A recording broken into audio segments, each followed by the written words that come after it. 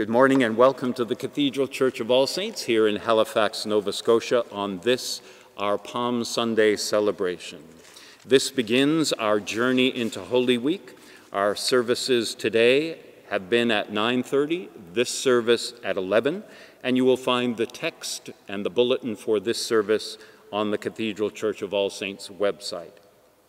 On Sundays, we also have a four o'clock service. Today is a special concert Passion Music for a Thousand Years, featuring members of the Cathedral Choir under Paul Halley's direction. I have been told just moments ago that that event is now sold out. We invite you to join, you, join us throughout the week.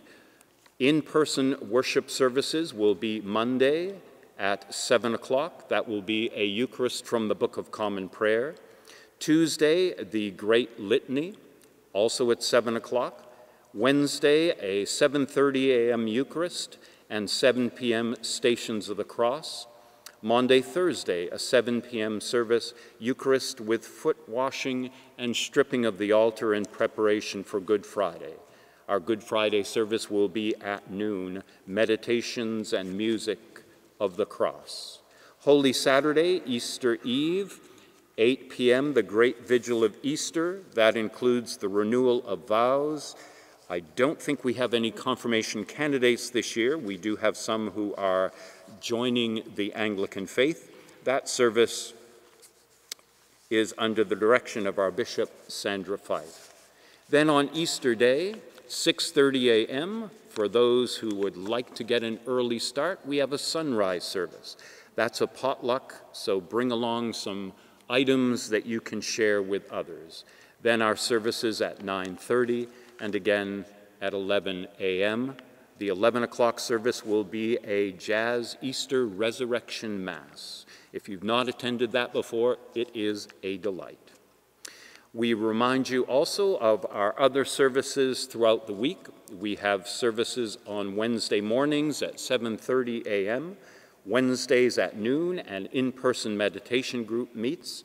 Thursday evenings, 6.30 p.m., an online meditation group meets via Zoom. Fridays at noon, a Book of Common Prayer Eucharist. And every morning, Monday through Saturday, you can start your day with morning reflections and prayers at 6:30 a.m. online, available throughout the day. And again, a word of thanks to those who have provided or who have uh, created the palm crosses that we will receive today as part of the service. Again, we have lots of those, so if you know of someone who is not able to join us in person today, but could distribute them, please do so. So we now will acknowledge the place where we have gathered and begin our worship. So we begin by acknowledging that we are in Mi'kma'ki, the ancestral and unceded territory of the Mi'kmaq people. This territory is covered by the treaties of peace and friendship which Mi'kmaq and Wolastoqey people first signed with the British Crown in 1725.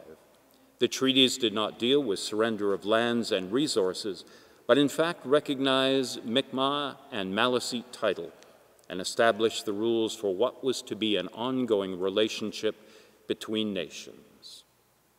Our choir will now sing the anthem, Hosanna to the Son of David.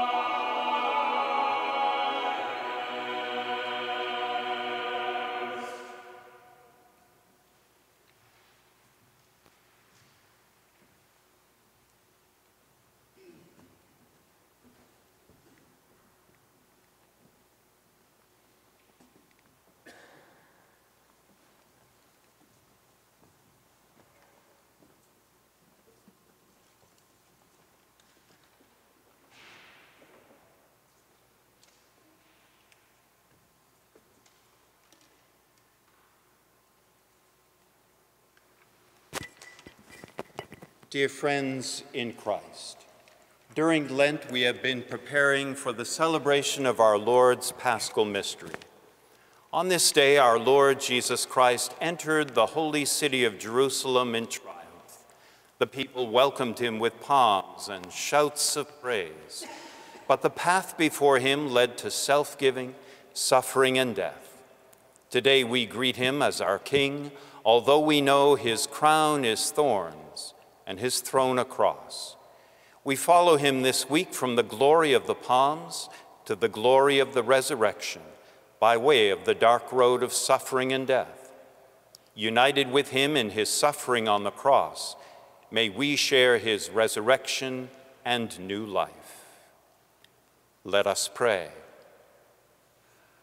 Assist us mercifully with your help, Lord God of our salvation that we may enter with joy into the celebration of those mighty acts whereby you give us life and immortality.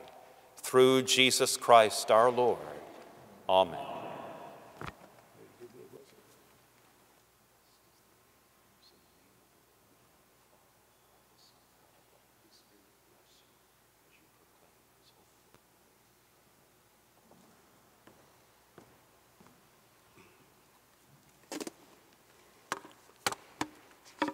The Lord be with you.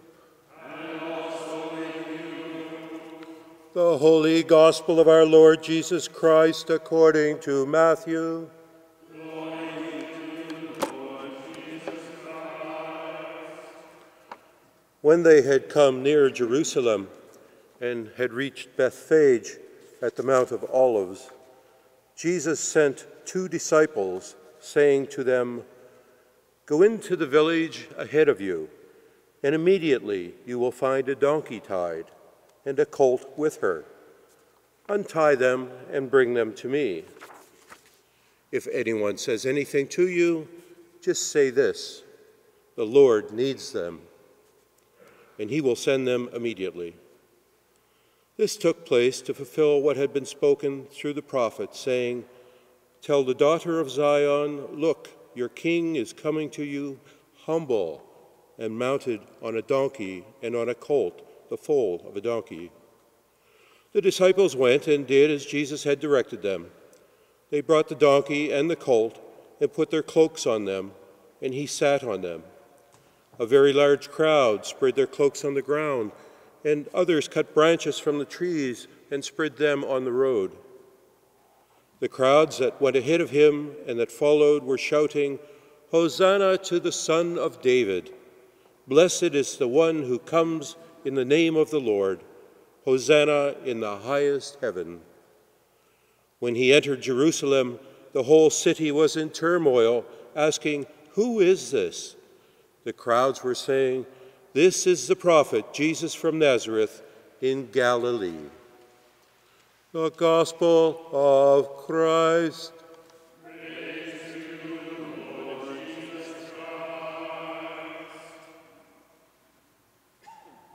The Lord be with you. Let us give thanks to the Lord our God. It is right to praise you, Almighty God, for the acts of love by which you have redeemed us through your Son Jesus Christ our Lord. The Hebrews acclaimed Jesus as Messiah and King with palm branches in their hands, crying, Hosanna in the highest. May we also go forth to meet Christ and follow him in the way that leads to eternal life, who lives and reigns in glory with you and the Holy Spirit, now and forever. Amen. Let us go forth in peace. In the name of Christ, Amen.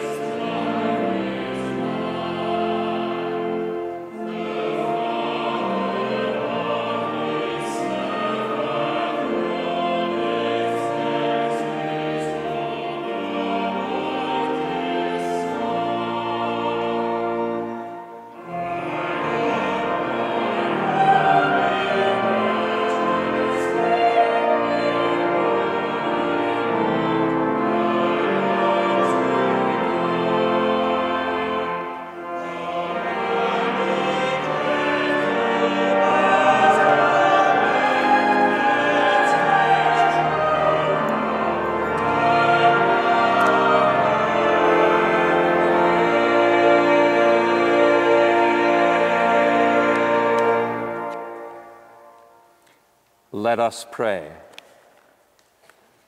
Almighty and ever living God, in tender love for all our human race, you sent your Son, our Savior, Jesus Christ, to take our flesh and suffer death upon a cruel cross.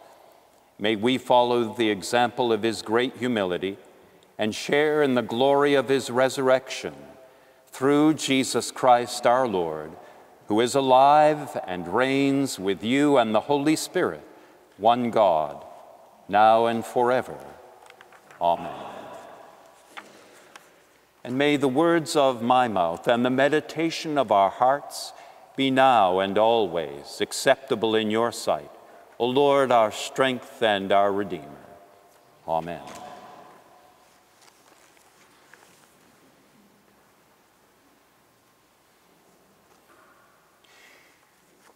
Thank you for joining us in our opening procession. Of all the liturgical services we engage in over the course of a year, this is one of the oddest. For it is on this day that we are asked to compress a week of activity into one moment in time. And so we begin with what all of Lent has been leading up to the telling of the last journey that Jesus makes to the city of Jerusalem. Each year we hear a different gospel writer's perspective, and this year it is from Matthew. In his version, Jesus tells two of his disciples to go into a neighboring village on the outskirts of the city, and immediately they will find a donkey and a colt tied ready and waiting. Should anyone ask what you are doing, Jesus says, tell them the Lord needs them. Now, I have to confess, as often as I have read this passage and preached on it, I don't think it had ever registered with me that the donkey was a she. Any of you? Or that they brought both a donkey and a colt back to Jesus. Life is full of surprises. I learned yesterday, for example, that research now tells us Tyrannosaurus rex probably had lips. I didn't know that was a question. But in this passage, the word that strikes me is the word immediately. Jesus says, immediately when you enter the village, you will find things waiting for you. Jesus knew what they didn't know, what you and I know, that the end is coming.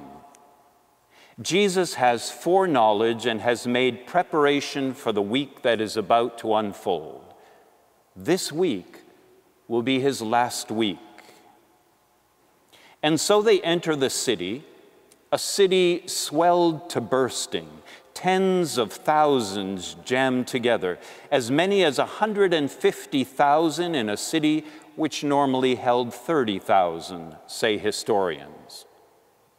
All have gathered to celebrate the great Passover, God's tremendous act of liberation, that in their ancestors' time had liberated them from lives of slavery in a foreign land.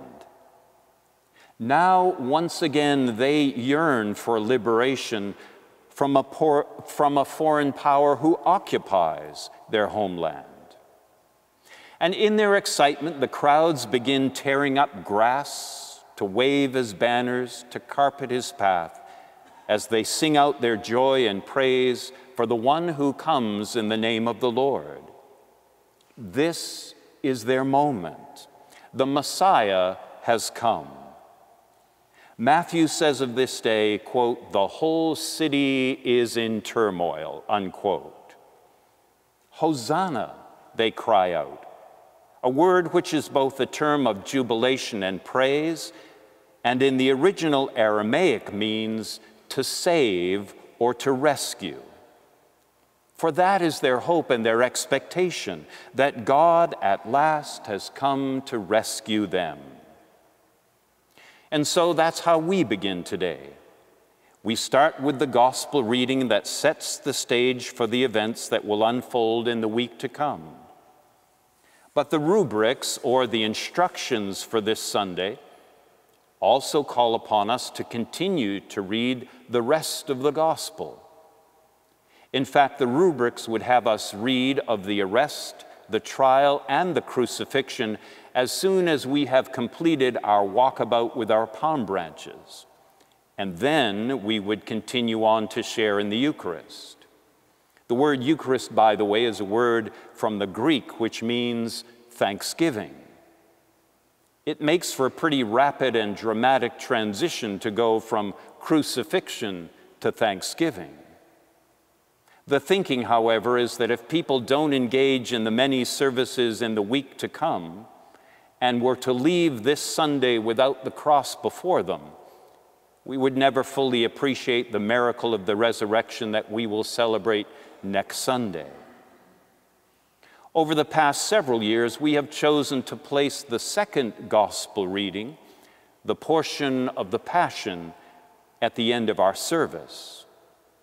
For I think this helps us to capture the joy of this day and hold that tension for a few minutes, which is what makes the events that will unfold this coming week all the more powerful.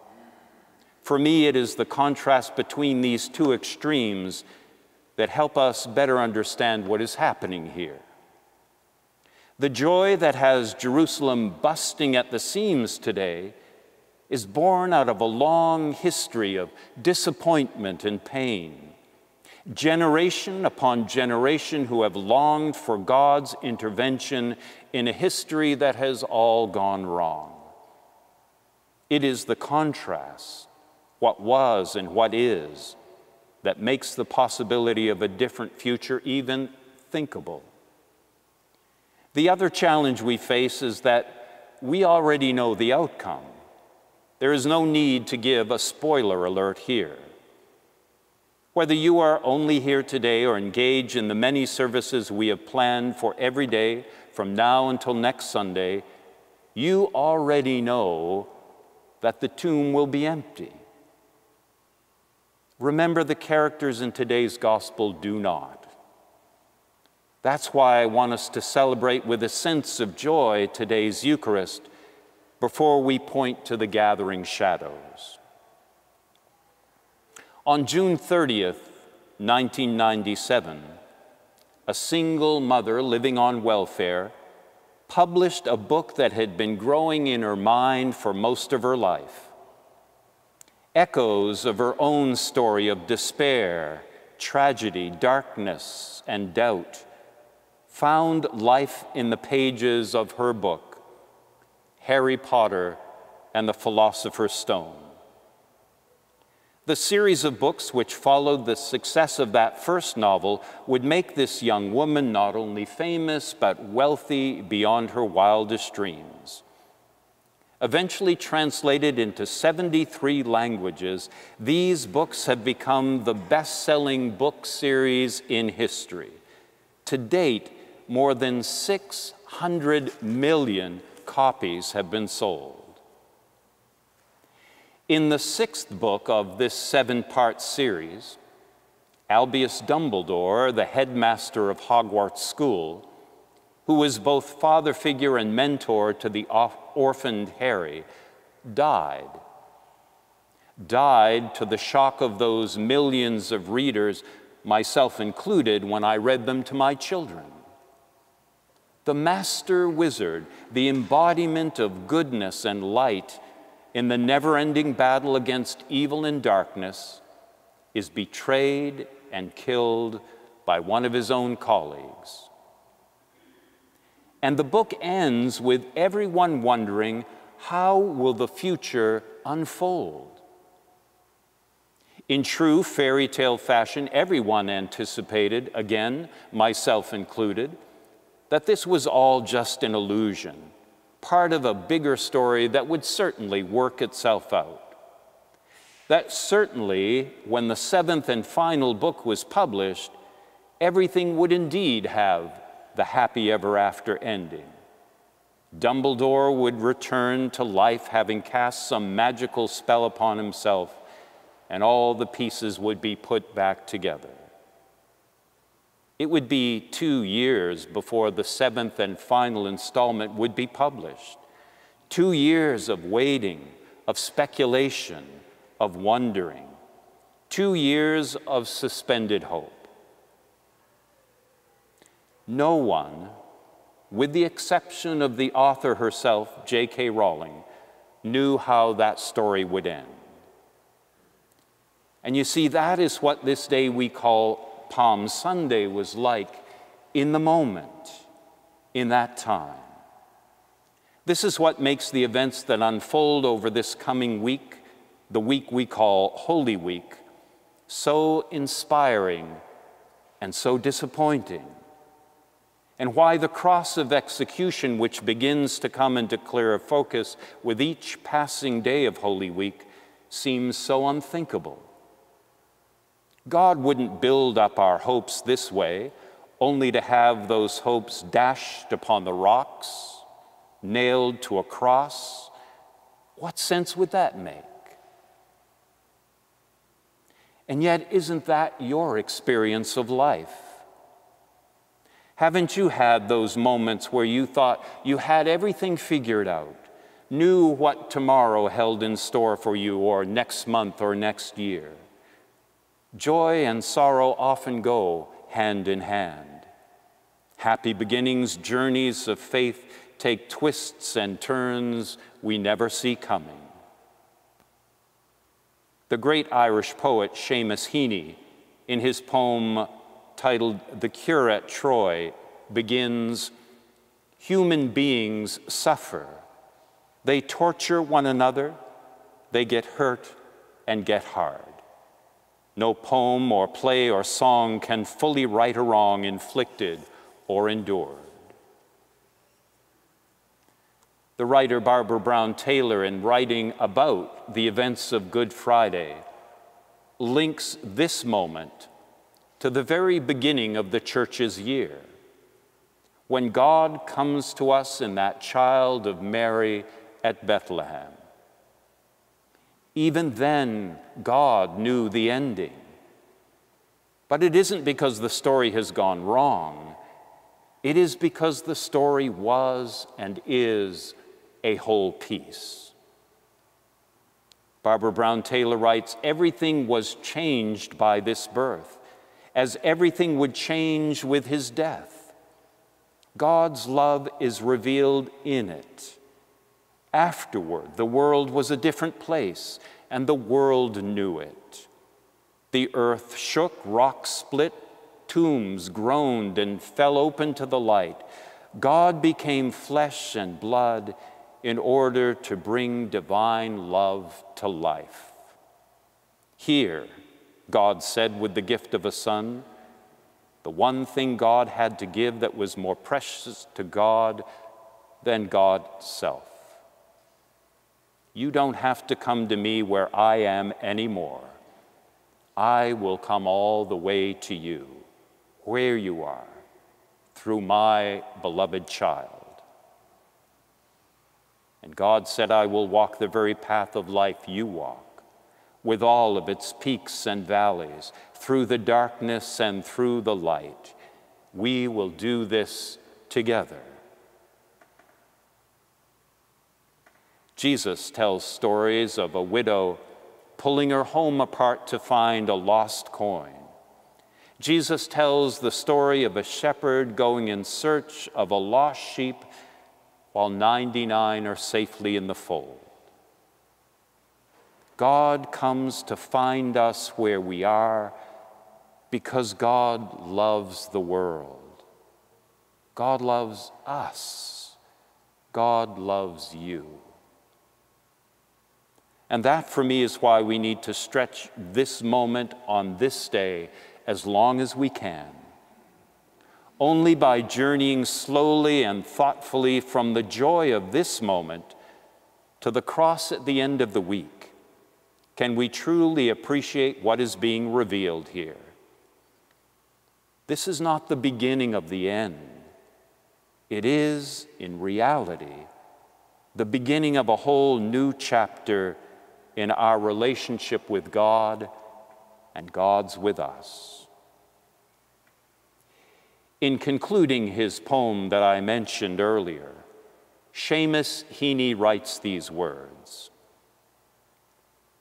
If there's fire on the mountain, or lightning and storm, and a God speaks from the sky, that means someone is hearing the outcry and the birth cry of new life at its turn. May it be so for us in this week. Amen.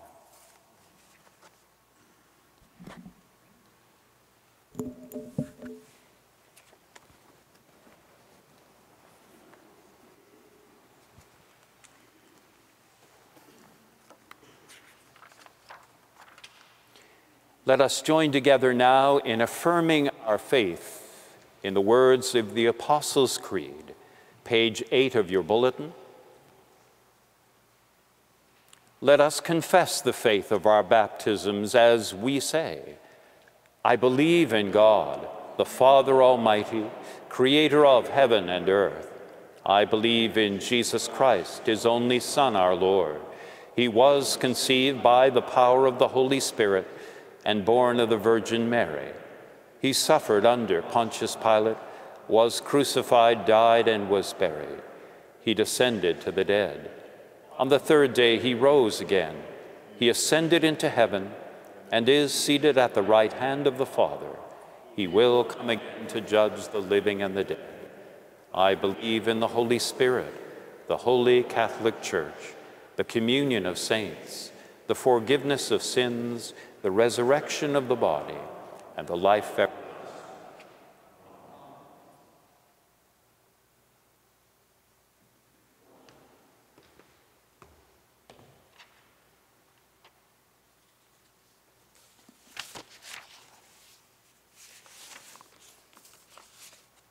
With confidence and trust, let us pray to the Lord, saying, Lord, have mercy. We pray for Linda, our primate, Sandra, our bishop, our wardens, Mayanne and Zachary, for Paul, our rector and dean, Helen, our associate priest, our deacons, Ray, Heather, and Maggie, Jillian, our engagement leader, Paul, Nick, Russ, Pauline, and all who make music in this place, and all who minister here in so many ways, both lay and ordained for the one holy Catholic and Apostolic Church throughout the world, we pray to you, Lord. Lord, have mercy. For the mission of the Church, that in faithful witness it may preach the gospel to the ends of the earth, we pray to you, Lord. For those preparing for baptism and for their teachers and sponsors, we pray to you, Lord. For peace in the world, remembering especially the people in Ukraine, that a spirit of respect and reconciliation may grow among nations and peoples. We pray to you, Lord. Lord. We pray for those who are ill or in special need. We pray for those who care for them and for those who care about them. Remembering especially Sharon, Stephanie, Lara, Freya, Leslie, Nicola, Shelley, Marcia, Paul, Larry and Susan, Anne, Trevor, Andrew, Cheryl, Susan, Leanne, Richard, Christopher, April, Jackie, Lucy, Andrew, Elliot, Anna, Blaine, Kara, Isabel, Bernie, Michael, Diane, Elizabeth, and Sharon. For the poor, the persecuted, the sick, and all who suffer, for refugees and all in danger, that they may be relieved and protected. We pray to you, Lord. We pray also for those who have died. We remember especially today Jane, Mia, and Phil Johnson. We pray for all whom we have injured or offended. We pray to you, Lord. Lord, have mercy. For grace to amend our lives and to further the reign of God, we pray to you, Lord. Lord, have mercy.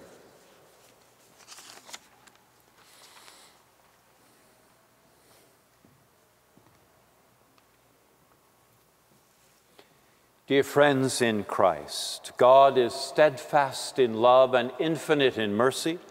God welcomes sinners and invites us to this table. Let us confess our sins confident in God's forgiveness. Most merciful God, we confess that we have sinned against you in thought, word, and deed, by what we have done and by what we have left undone. We have not loved you with our whole heart. We have not loved our neighbors as ourselves. We are truly sorry, and we humbly repent. For the sake of your Son, Jesus Christ, have mercy on us and forgive us, that we may delight in your will and walk in your ways, to the glory of your name. Amen. Almighty God, have mercy upon you, pardon and deliver you from all your sin, confirm and strengthen you in all goodness, and keep you in eternal life through Jesus Christ our Lord. Amen. And the peace of the Lord be always with you.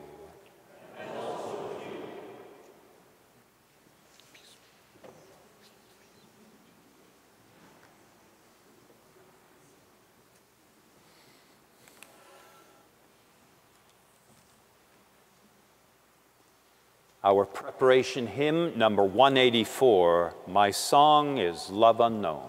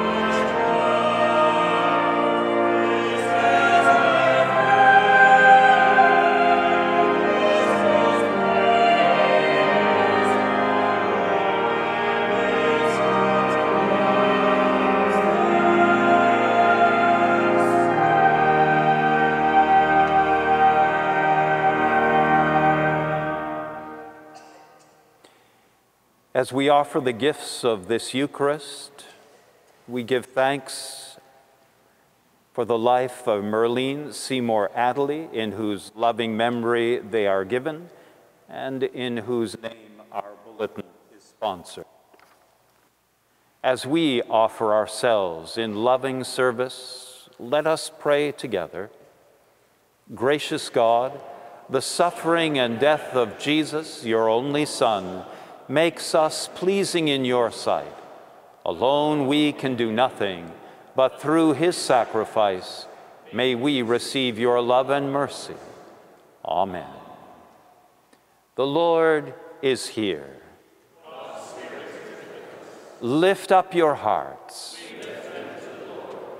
Let us give thanks to the Lord our God. It is the joy of our salvation, God of the universe, to give you thanks through Jesus Christ. You said, Let there be light. There was light. Your light shines on in our darkness. For you, the earth has brought forth life in all its forms. You have created us to hear your word, to do your will, and to be fulfilled in your love. You sent your Son to be for us the way we need to follow and the truth we need to know. His cross has given us strength and freedom to enter by the narrow gate, to choose the path of life, and in these 40 days to share his trials. You send your Holy Spirit to strengthen and to guide, to warn and to revive your church.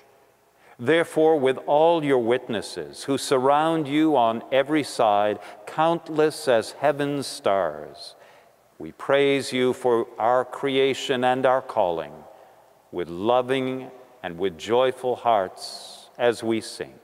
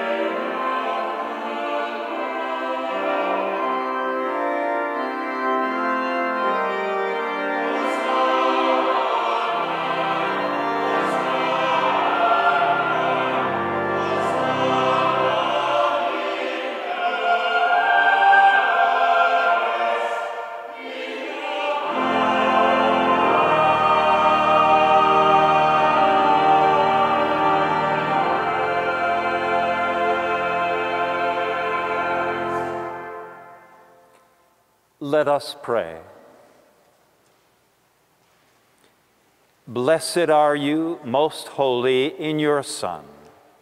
On the night before he died, he took bread and gave you thanks.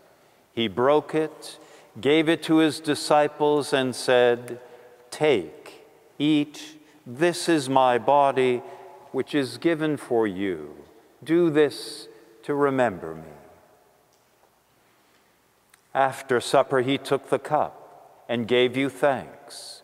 He gave it to them and said, Drink this. It is my blood of the new covenant, shed for you, shed for all. Do this to remember me. Therefore, with this bread and wine, we recall your goodness to us. God of the past and present, we, your people, remember your Son we thank you for his cross and rising again. We take courage from his ascension. We look for his coming in glory, and in him we give ourselves to you. We celebrate and proclaim the mystery of our faith. Christ has died, Christ is risen, Christ will come. Send your Holy Spirit that we who receive Christ's body may indeed be the body of Christ, and we who share his cup draw strength from the one true vine. Called to follow Christ, help us to reconcile and unite. Called to suffer, give us hope in our calling. For you, the heavenly one, make all things new. You are the beginning and the end, the last and the first to whom we bring our songs of everlasting praise. Blessing, honor, and be glory, here and everywhere, now and forever. Amen. And now, as our Savior Christ has taught us, we are bold to pray. Our Father, who art in heaven, hallowed be thy name. Thy kingdom come. Thy will be done on earth as it is in heaven. Give us this day our daily bread, and forgive us our trespasses, as we forgive those who trespass against us. And lead us not into temptation, but deliver us from evil. For thine is the kingdom, the power, and the glory, forever and ever. Amen. We break this bread communion in Christ's body once broken. Let the church be the wheat which bears its fruit in dying. If we have died with him, we shall live with him. If we hold firm, we shall reign with him. Behold the gifts of God. For the people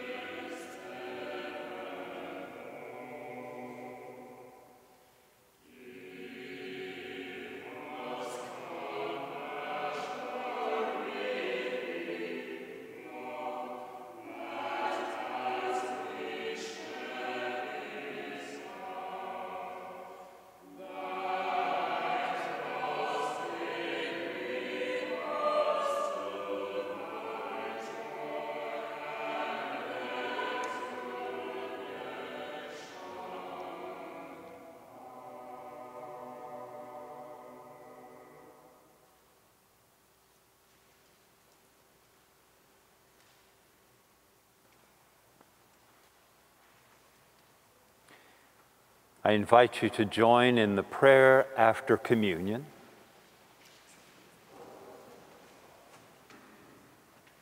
Let us pray. God, our help and strength, you have satisfied our hunger with this Eucharistic food.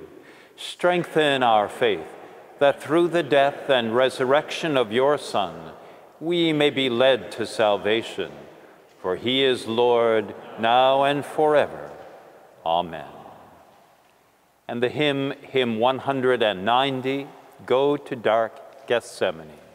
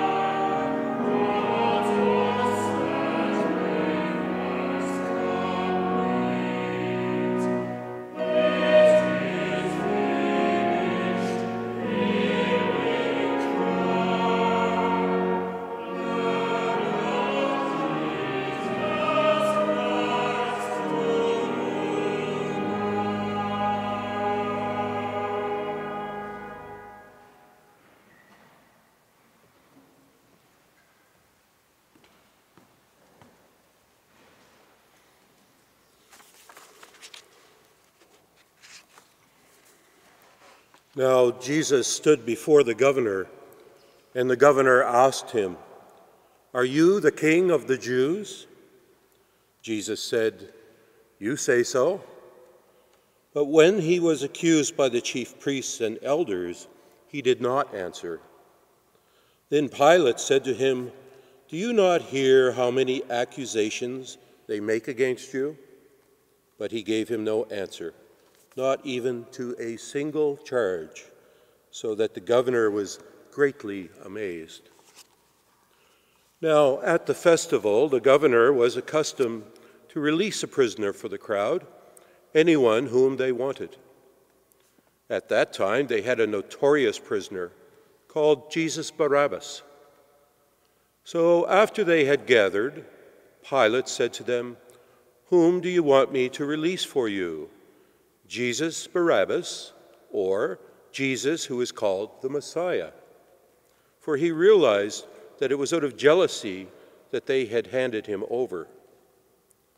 While he was sitting on the judgment seat, his wife sent word to him Have nothing to do with that innocent man, for today I have suffered a great deal because of a dream about him. Now the chief priests and the elders persuaded the crowds to ask for Barabbas and to have Jesus killed. The governor again said to them, Which of the two do you want me to release to you? And they said, Barabbas. Pilate said to them, Then what should I do with Jesus, who is called the Messiah? All of them said, Let him be crucified. Then he asked, Why? What evil has he done? But they shouted all the more, Let him be crucified. So when Pilate saw that he could do nothing, but rather that a riot was beginning, he took some water and washed his hands before the crowd, saying, I am innocent of this man's blood. See to it yourselves. Then the people as a whole answered, His blood be on us and on our children. So he released Barabbas for them, and after flogging Jesus, he handed him over to be crucified. Then the soldiers of the governor took Jesus into the governor's headquarters, and they gathered the whole cohort around him. They stripped him and put a scarlet robe on him, and after twisting some thorns into a crowd, crown, they put it on his head. They put a reed in his right hand and knelt before him and mocked him, saying, Hail, King of the Jews! They spat on him. They took the reed and struck him on the head. After mocking him, they stripped him of the robe and put his own clothes on him. Then they led him away to crucify him. As they went out, they came upon a man from Cyrene named Simon they compelled this man to carry his cross. And when they came to a place called Golgotha, which means place of a skull, they offered him wine to drink, mixed with gall. But when he tasted it, he could not drink it. And when they had crucified him, they divided his clothes among themselves by casting lots. Then they sat down there and kept watch over him. Over his head they put the charge against him, which read, This is Jesus, the King of the Jews. Then two bandits were crucified with him, one on his right and one on his left. Those who passed by derided him, shaking their heads and saying, You who would destroy the temple and build it in three days, save yourself. If you are the Son of God, come down from the cross. In the same way, the chief priests also along with the scribes and elders, were mocking him, saying, He saved others, he cannot save himself. He is the King of Israel. Let him come down from the cross now, and we will believe in him. He trusts in God. Let God deliver him now if he wants to. For he said, I am God's son. The bandits who were crucified with him also taunted him in the same way. From noon on, darkness came over the whole land until three in the afternoon. And about three o'clock, Jesus cried out with a loud voice, Eli, Eli, lema sabachthani.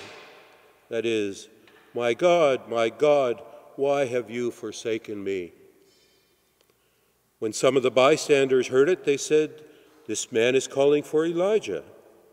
At once one of them ran, ran and got a sponge filled it with sour wine, put it on a stick, and gave it to him to drink. But the others said, Wait, let us see whether Elijah will come to save him. Then Jesus cried out again with a loud voice and breathed his last.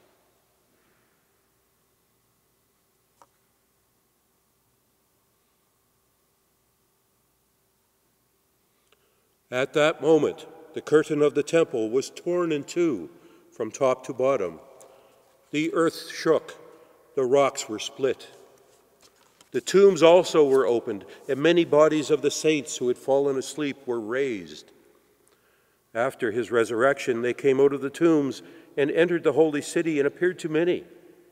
Now, when the centurion and those with him who were keeping watch over Jesus saw the earthquake and what took place, they were terrified and said, Truly, this man was God's son. Many women were also there, looking on from a distance. They had followed Jesus from Galilee and had provided for him. Among them were Mary Magdalene and Mary, the mother of James and Joseph, and the mother of the sons of Zebedee. When it was evening, there came a rich man from Arimathea named Joseph, who was also a disciple of Jesus. He went to Pilate and asked for the body of Jesus. Then Pilate ordered it to be given to him. So Joseph took the body and wrapped it in a clean linen cloth and laid it in his own new tomb, which he had hewn in the rock. He then rolled a great stone to the door of the tomb and went away. Mary Magdalene and the other Mary were there, sitting opposite the tomb. The next day, that is, after the day of preparation, the chief priests and the Pharisees gathered before Pilate and said, Sir, we remember what this impostor said while he was still alive. After three days, I will rise again. Therefore, command the tomb to be made secure until the third day. Otherwise, his disciples may go and steal him away and tell the people he has been raised from the dead. And the last deception would be worse than the first. Pilate said to them, You have a guard of soldiers. Go, make it as secure as you can. So they went with the guards and made the tomb secure by sealing the stone. Go forth in the name of Christ.